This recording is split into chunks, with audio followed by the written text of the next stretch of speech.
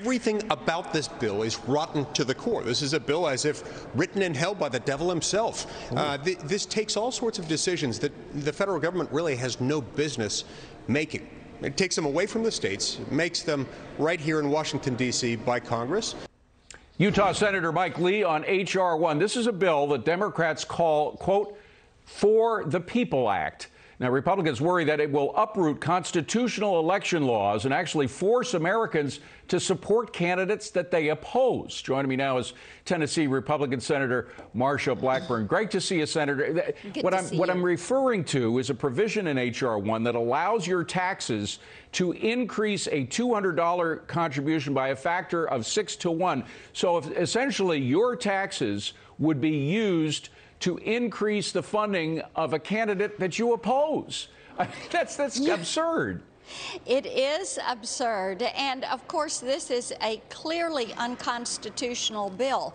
But you know, David, that didn't stop them with Obamacare, even though the court said, yes, this is unconstitutional. Yes, it is a tax. They kept moving ahead anyway. And what you see in H.R. 1 is they are going to not just allow, but command candidates to take federal money. What they're trying to do is to take the voter out of the process.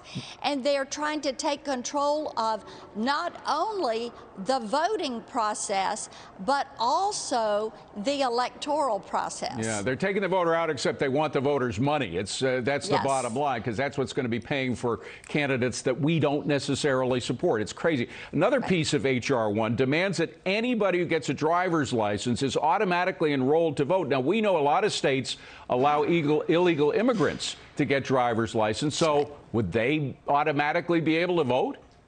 According to H.R. 1, it would allow people, it would force the state, not just allow, but would force a state to gather names from all of these various databases that they have.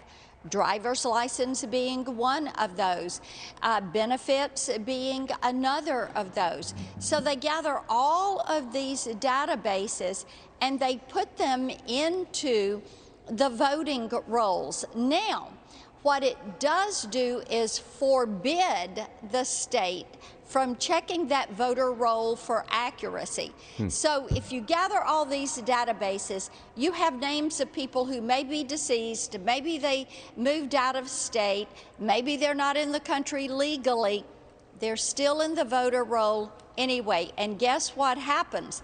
Because they're going to institutionalize mail out voting in this bill, make it a requirement. Right. You got to do it. Everybody gets one.